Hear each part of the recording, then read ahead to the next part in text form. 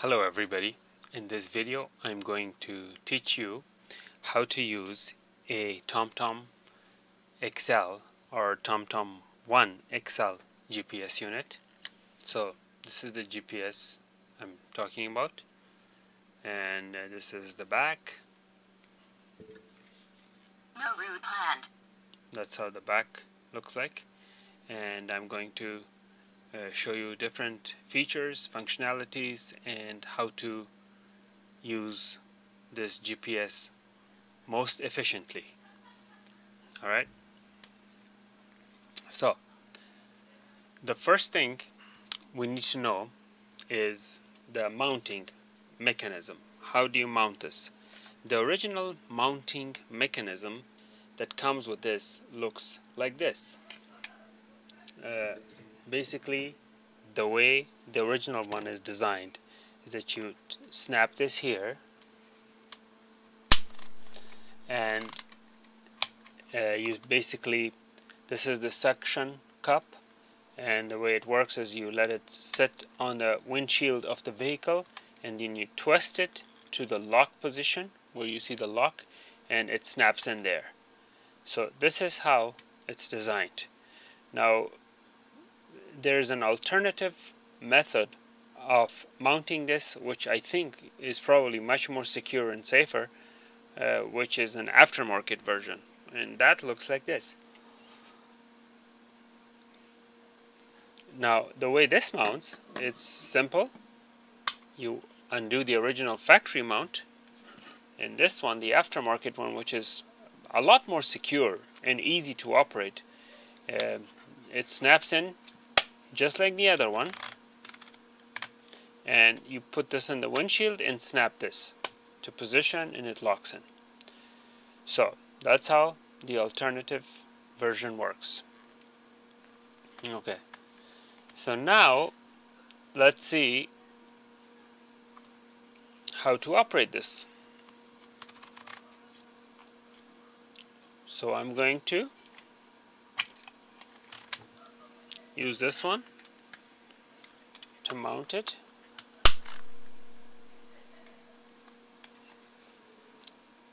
So let's mount this first.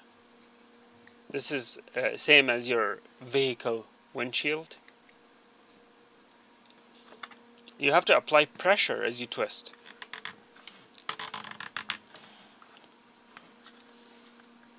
And there it is. It's pretty secure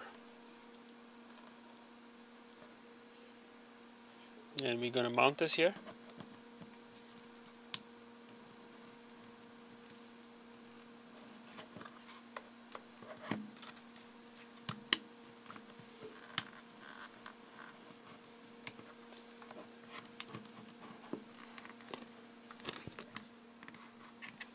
Okay now this is appears to be a little loose but I guess that's how it is.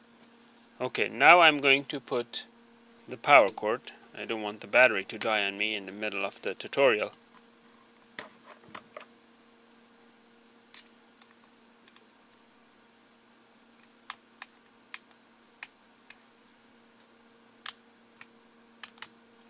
So when the light's on, we know that the connection is good. And let's snap this in. Okay. Alright. So let's see how to use this. First when you get this, it's good to do a factory reset and customize the GPS unit the way you want it. This is how you do a factory reset. Click here, change preferences, hit the right arrow button several times. Oops, I think I passed it. There. And that's the factory reset. So I'm going to press the factory reset so mm, there is the my factory reset. Do you really want to delete all the settings and locations? Yes. And it will ask me again if I'm sure we want to do this. Yes, I'm sure. Okay, so these are different uh, languages that I can choose from. So US English, I will, I will choose. Yes. Okay. Right-handed or left-handed? So I'm right-handed but you could change it depending on if you are right-handed or left-handed. Now this GPS will, will be used in Europe so I'm gonna change it to kilometers because only in the United States we are using miles. All over the world they are using kilometers. So that's what I'm gonna change it to kilometers. And time you could choose military time which means after 12 uh, noon it changes to uh, 13 14 and so on or you can choose the simple uh, PM AM okay? The time you don't have to worry about the time. You could set the time uh, but it will automatically detect the time uh, from the GPS signal. Now these are different voices. Not all GPSs are equipped with all these voices. Very few have this many voices. Usually they have fewer voices. So you could check each voice and choose the one you like uh, and there are more languages like uh, it's Spanish it's uh, French and we have uh, Canadian uh, uh, French this is European French like that. And I guess that's it. So three languages but multiple voices. Now whichever voice that has the computer logo on the right uh, that voice uh, the, the word computer on the right that voice will speak the street names. And if there is no uh, computer word computer that's a human voice which has been previously recorded. Now the human voice which has been previously recorded will be much more clear. However the human voice does not pronounce this, the roads. For example, if you're turning right on Broadway, it will tell you turn right, where the computer voice will tell you turn right on Broadway. So that's why I like to choose the computer voice. I'm going to choose that, and I, this is how you test the voice. You have reached your destination. Okay, so that's a little microphone I have there to catch the voice. At the end of the road, take the ferry. Okay, so Turn around when possible.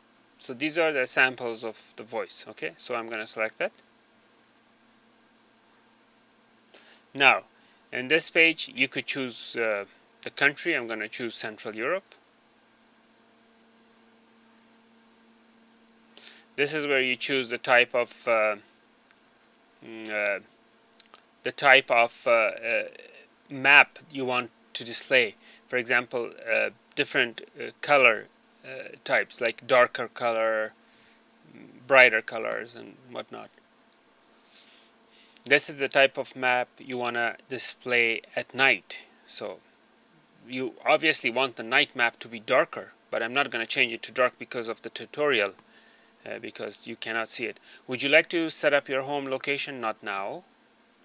Would you like a brief tour? Yes, you could take a brief tour. Actually, the brief tour itself, it's a very nice uh, help to teach you.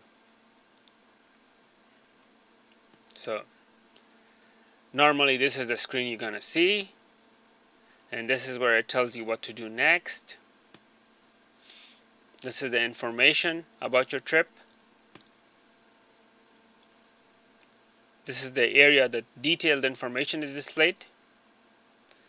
And this will tell you uh, what to do and when to do it. For example, it tells you to turn right in 90 meters. And uh, tap this area to hear the instructions again. This is zoom in and zoom out for the map. And that's self-explanatory. Tap the screen anywhere else to open the menu, for example, plan a route or whatever. Sure. This is the button that tells you where to go. Find an alternative route. If the if there is construction and the road is blocked, then you choose this.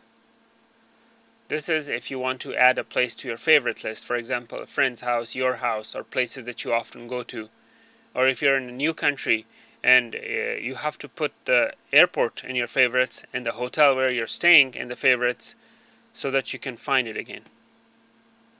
This is where you change the preferences turning sound on and off, brightness, day colors and night colors. There you go.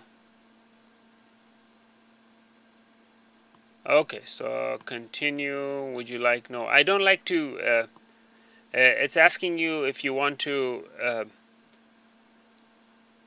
get map correction updates. The problem with that is that you always have to connect this to your um, computer. It's very inconvenient.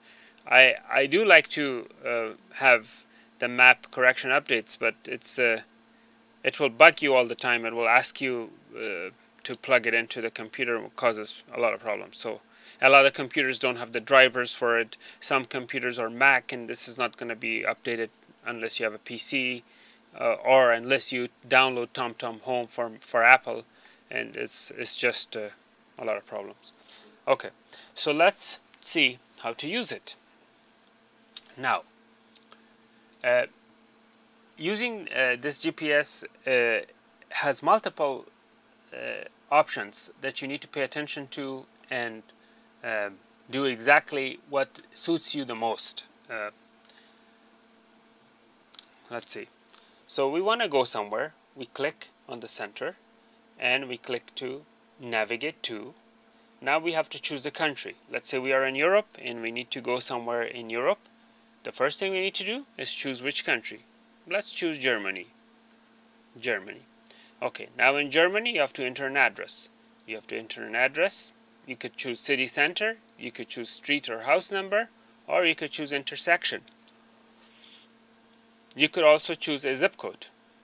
So these are the things you could do. It's pretty simple. So street address. You go ahead and punch in the street address. Let's say if you're going to Berlin, in the city of Berlin, you choose an address. Let's say I'm going to that address. And you, let's say you want to go anywhere there. Arrive at a particular time, no or yes, and it's going to calculate my route. Obviously, I'm going to cancel this route. Why? Because this GPS is currently in the United States, and there's no way it can give me calculation of the... Of you have reached your destination. Okay, so I'm going to cancel my route.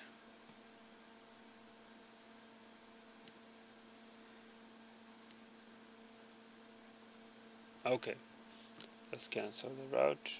No routes planned. Okay, so I already did. Okay, now let's see other features and setups.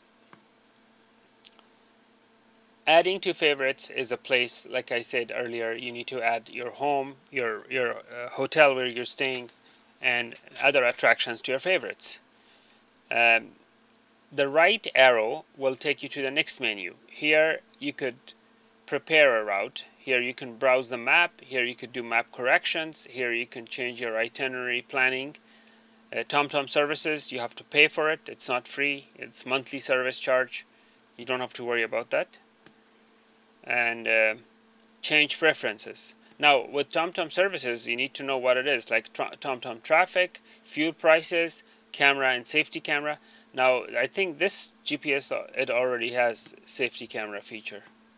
Yeah, so there you go. The alerts are enabled and everything. So if there is a safety camera, Europe is infested with safety cameras.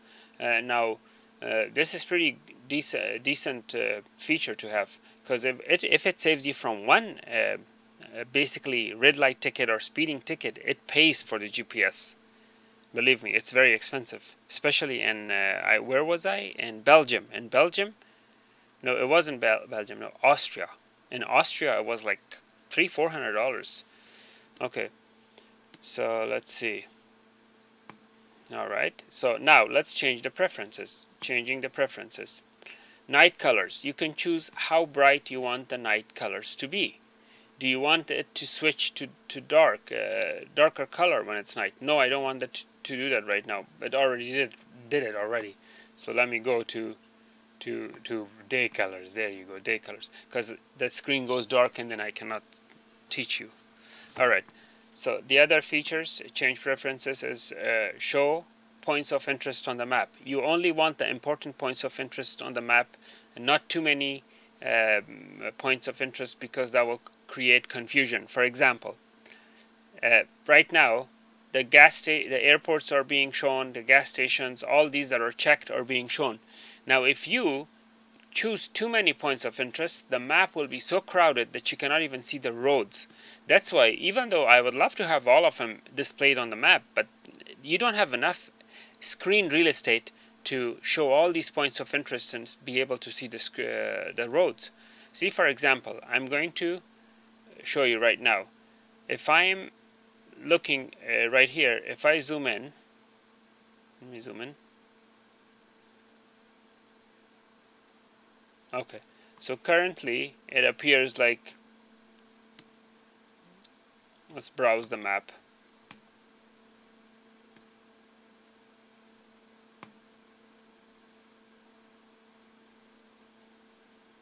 No, I don't want a tour. So let's say if you're traveling in this road. And uh, there are a lot of uh, uh, like uh, coffee shops. And you have chosen uh, for for the GPS to show you the coffee shops. Then what happens is that there will be little pop-ups of coffee shops everywhere. And uh, it will cover the roads and you will not be able to see everything very well. That's the reason. Um, let me cancel that route okay I cancel the route okay. So that is the reason I don't like to have too many points of interest showing on the map because of that. Alright so now safety preferences. Uh, hide most menus options while driving. Uh, menu options yeah that's a good thing. Suggest driving breaks if you want. Show uh, safety reminders for example, what is a safety reminder? For example, if you're traveling in the countries where you have to drive on the left, it will warn you to uh, drive on the left so you don't drive on the right side of the road. See, this is the one I was telling you.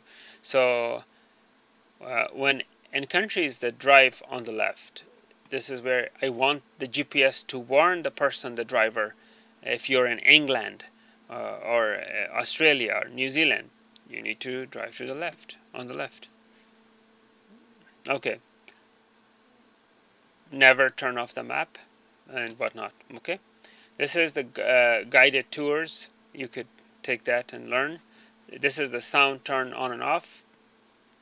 Uh, volume preferences, change voice. You can change the voice to a different voice. Manage points of interest, manage favorites, change your home location, you can click here and change the address for the home location you have entered previously. And uh, the car symbol you can change. Currently it's an arrow but you can change it to different types of car symbols whichever one you like the most. Okay?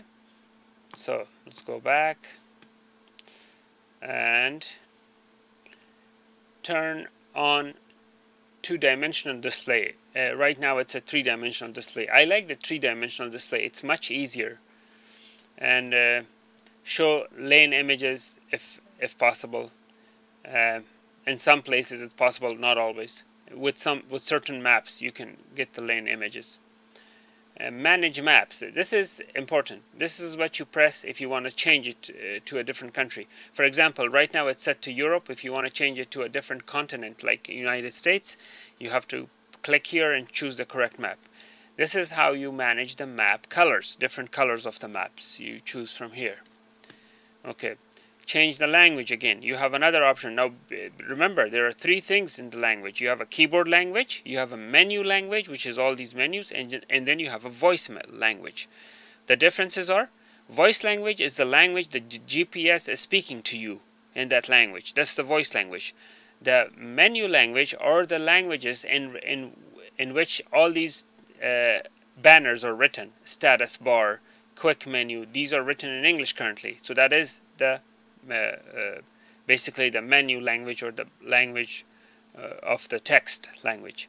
And keyboard language is the language with which you type in the address. For example, if you go to a country that are not using um, Roman uh, uh, letters, uh, I mean,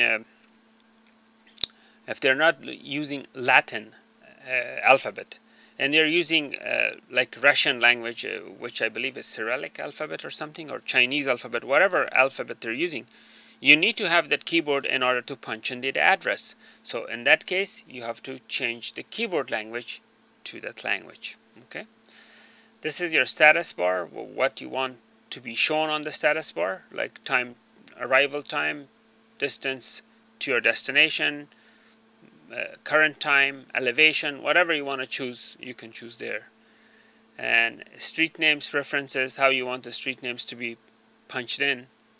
The planning preferences this is very important. Planning preferences is very important because uh, see uh, the, like what do you want to avoid? You want the fastest route you want uh, every time that you're planning for it to ask you always plan the shortest route the shortest route may not be the fastest because it could have multiple traffic lights where the, the fastest could be uh, through a freeway which is a little longer. However you you will get there faster. If it's a walking route or bicycle route if you choose bicycle route it will the GPS will never take you where bicycles are not allowed. For example the GPS is not going to take you through a freeway or autobahn if you're in Germany uh, always plan for limited speed for example if you're a newbie you just learn how to drive and you don't want the GPS the vehicle to go very fast then you want to choose a route that limits your speed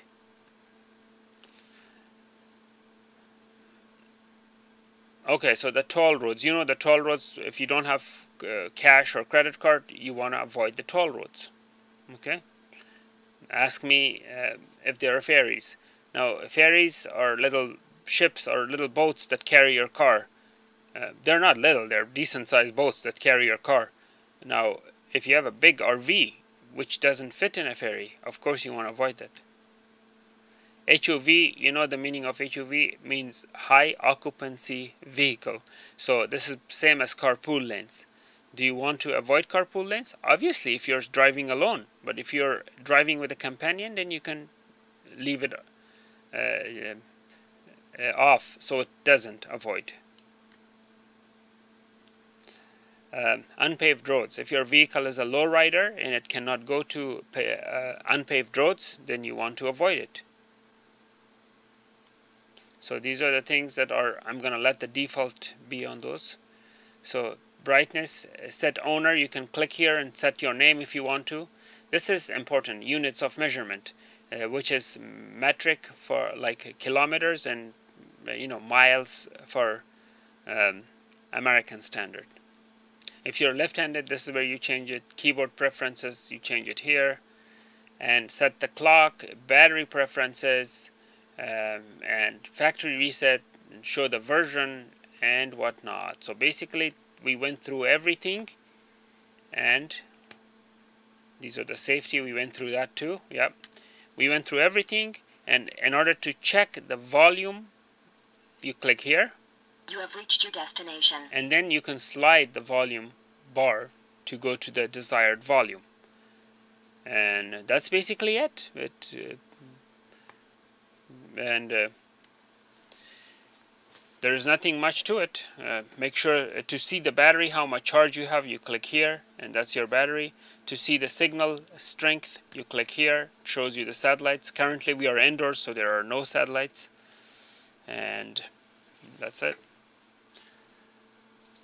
okay so I hope this uh, video was something educational and you learned something from it um, Thank you for watching. Please don't forget to like and subscribe.